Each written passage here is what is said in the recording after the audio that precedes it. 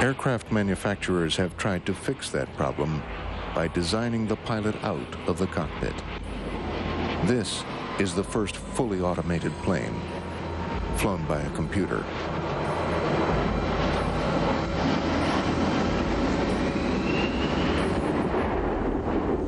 Oh no, oh no, oh no, oh no.